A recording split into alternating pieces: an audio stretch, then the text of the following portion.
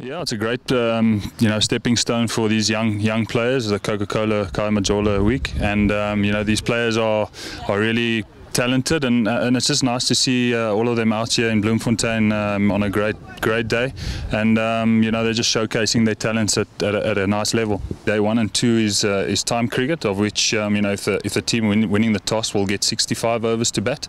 If the team loses the toss and sends the other team into bat, they will get 75 overs.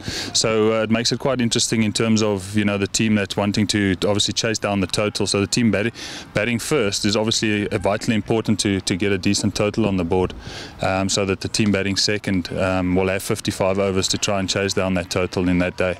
But um, it's just, uh, you know, those that's for the first two days, and then day three is two 20-20 matches, and then day four and five will be uh, 250 over matches. I think our team did pretty good today. On the bowling side, could have done better, but the batting side, we did good today.